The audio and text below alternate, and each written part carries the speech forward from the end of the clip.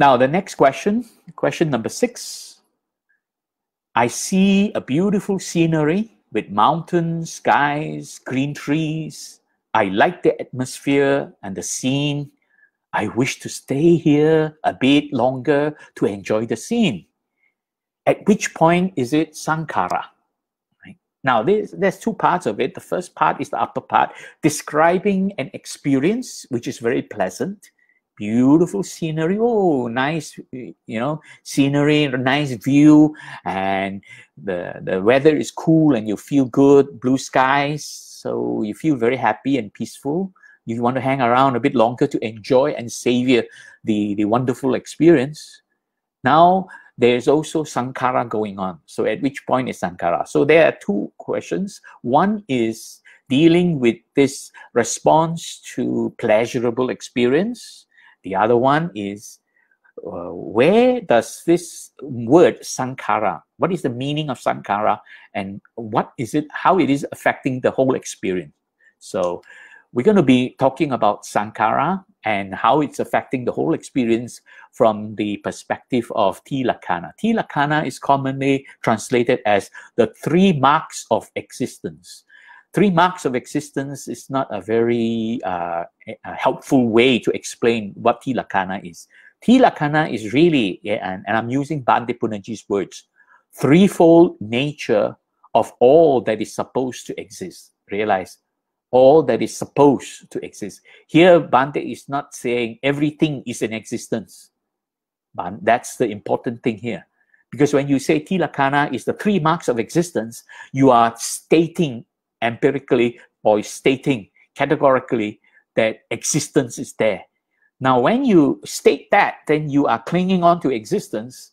You will never be able to free from existence. You will never cultivate yourself to be free from existence. You will always be experiencing the dukkha of existence.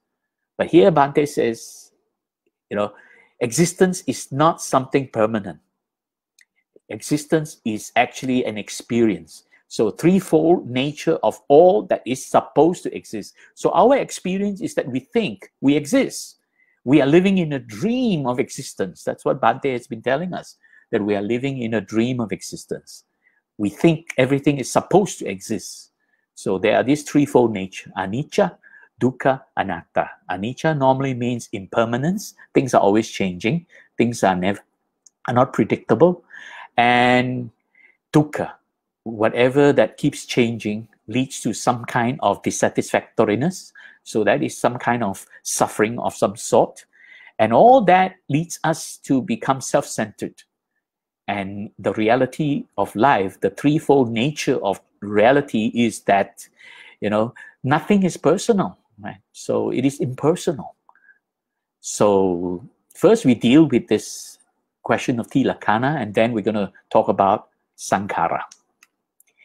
So I'm referring to Bhante's Arya Magga Bhavana book, level 3, page 117 and 118. So I'll give you the link to download if you don't have a hard copy. For those of you unable to get a hard copy, later on you will see the link and you can get a hard copy by visiting uh, Buddhist Mahavihara.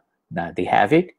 Uh, I, I'm not sure if their uh, Buddhist Mahavihara is open, but I believe they are open now. You can go there and pick up the books if you want to.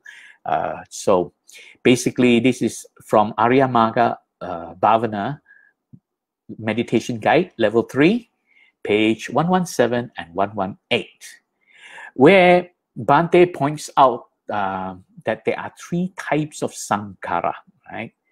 Uh, mental construction is chitta sankhara. Now, from time to time, you may come across documents that says mano sankhara.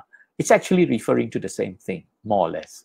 Right? It's talking about the construction in the mind as a result of what we have perceived. So this is by uh, building up from sanya and vedana, which are part of the panchakanda, the five constituents of the process of uh, perception or some people call these as the as the five uh, five parts of panchakanda okay so this is really constructing the perception in the mind so this is really mental construction the next is verbal construction vachi sankhara Vachi refers to speech. Here it's not talking about what you say, it's talking about what the mind is saying. So this is really mental speech. What is being spoken in your mind? So this is really constructing uh, basically questions and answers in your mind. Whenever we see something, there is a process of question and answer because when you see something, the first thing the mind asks unconsciously, you're not aware of it normally. That is a question. What is this? And then the mind will try to look back into memory and then say, ah, this is look, this looks like this, this looks like that, this may be this, and then starts to identify what it is.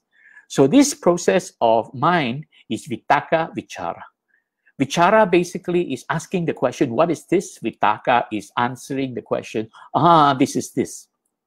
So it's a it's a man it, it's an it's a process you are not consciously aware of. It's constantly going on, right? So that's Vachi Sankhara. And finally, this uh, physical construction, Kaya Sankhara. Basically, this is referring to the process of breathing. Because when the mind thinks, it is only able to think when the cells in the body are active, especially all the brain cells. When they are active, that's that produces a process of thinking. And it needs energy. Cells need energy in order to carry out this process. So this kaya sankhara is referring to that process of feeding energy to the body to, to process thoughts and, and feelings and emotions and so on. So this is really the energy that, that causes the activity to go on internally. Without that energy, then it cannot go on. So this is really those three types of uh, sankhara. Uh, you can read the rest yourself. I won't go uh, read them. But basically, when we talk about construction, right, uh, mental construction, there are three types of sankhara in the mind. It's all happening in the mind because there's another type I'll talk about in a moment uh, that is not happening in the mind, right? But basically, these are all happening in the mind. Chitta sankhara refers to the construction of a mental image arising of what was perceived through the sense organs. That means when light enters the eye, you're able to see something, and then Chitta Sankhara is producing the mental image, the rupa. Right? And this is by building together like bricks to to put bricks to make a wall. And if you imagine the wall is the whole picture, then the bricks basically are put up to create the wall. Or if I use another uh, analogy, it's like putting pieces of jigsaw puzzle together until you get the whole picture of the jigsaw puzzle forming the full picture, the big picture. So sanya vedana are like the pieces and you put them together and produce it. This process of putting it together is really pancha upadana kanda. And in there, there are five constituents. Sankhara is one of them. Okay. So this is really the the five constituents of the process of perception. And with every mental image perceived, there is an identification process going on. That process uh, is actually called papancha. There's an identification process of the perceived image in the mind. And you begin to identify by asking questions what is this? Ah, I remember this. Oh, this looks like this and this looks like that. Okay. And finally, uh, Kaya Sankhara is the construction of this physical energy to feed, uh, to keep these processes going on. So you can read the rest of it in Bhante's uh, notes, and then you can post questions after reading this. So that I, I'm not going to read through the whole thing. I suggest you download this book if you don't have it. If you have it, make sure you have the correct version. If you turn to that page, it should be these texts if not, then you have to download the latest version. Right? You may have an outdated version. So then, therefore, this the, you can then read through it and then ask me questions after that. Right? So let's talk about this experience, experience of seeing. Um, a lot of people think of seeing like as though, oh, I see the object. And therefore, the word rupa is used to as translated to refer to that physical object out there. That's where the mistake lies. Rupa does not refer to that physical object out there. Rupa actually refers to the mental image arising in your mind. Let me show you where is rupa. If you want to see something, let's see, there is this dog. When you want to see a dog, first you need a light.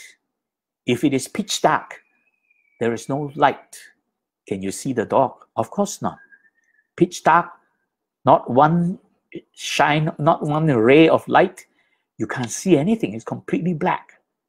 So when light is reflected from that object, falls into your eye, right? So it stimulates the light sensitive cells at the back of your eye on the retina. So your, your eyeball is the sense organ. And here we're referring to a person where the eyes are working. So therefore, at the same time, that person is paying attention. And when the person pays attention to the dog, where there's light reflected from the dog, that person is able to see the dog, and that process of perception arises. That is the Panchakanda. And when this process arises, there is a mental image. Ah, then you have a mental image formed in your mind of the dog. That is Rupa. Rupa is not that object out there. Unfortunately, somehow it, the word Rupa is used to translate as the object out there. That is really not correct.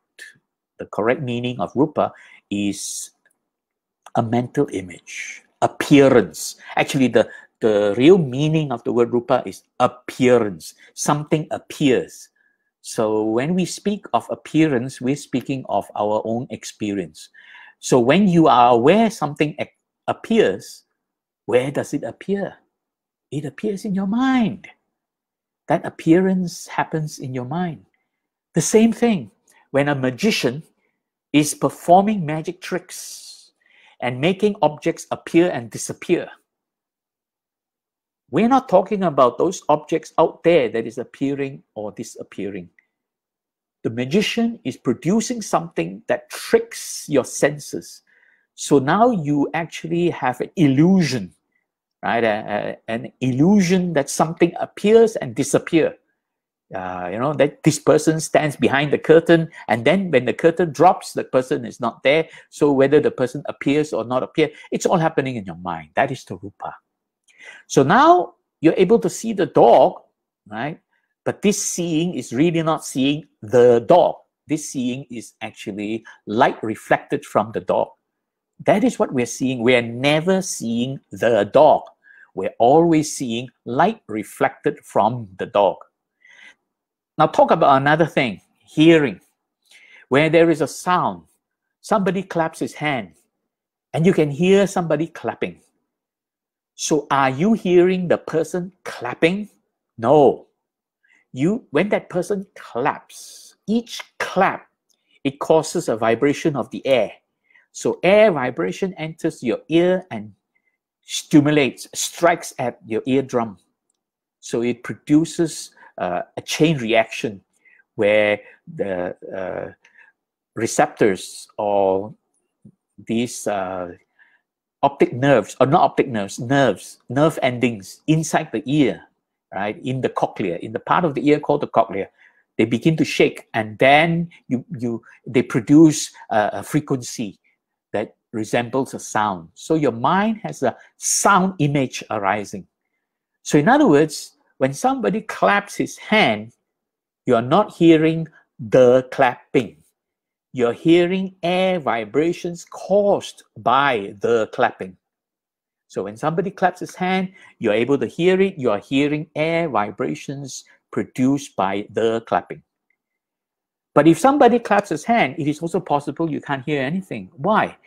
because you're wearing earplugs. And if you're wearing earplugs, no matter how hard the person is clapping, you know, if those earplugs are very effective, it stops the air vibration entering the ear to strike the eardrum, and therefore you're not hearing anything. You see, when you ear, wear earplugs, you're not able to hear. It's not because that person stopped clapping, it's because air vibration is not going on. The same thing with the dog. If somebody blindfolds you even the dog is right in front of you barking away. You can't see the dog because you're blindfolded. Reflected light is not entering your eye. The dog is there. So if rupa is translated as the dog out there, then you you still have the rupa. No, you can't. You don't have the rupa. because you're blind, blindfolded. So when you're blindfolded, you can't see the dog. So there's no mental image of the dog. So this is really what rupa means. Whether we're talking about uh, seeing, hearing, or so on, it is all mental image arising. And this is really the experience. As I mentioned to you before, this is experience and this is Dharma. Dharma is the experience. We're not talking about Dharma as in Buddha Dharma. We're talking about Dharma as the experience, the experience of a perception. And this experience is uh, because of light reflected. And then your mind begins to project. Oh, there is a dog out there.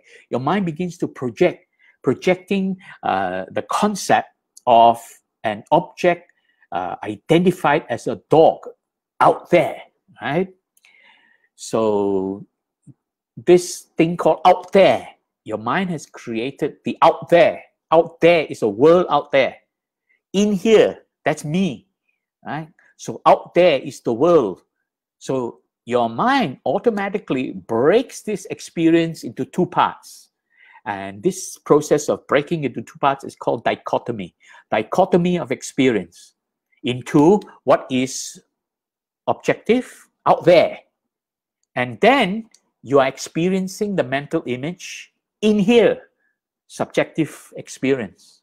Right? So your mind begins to project, oh, there is a dog out there.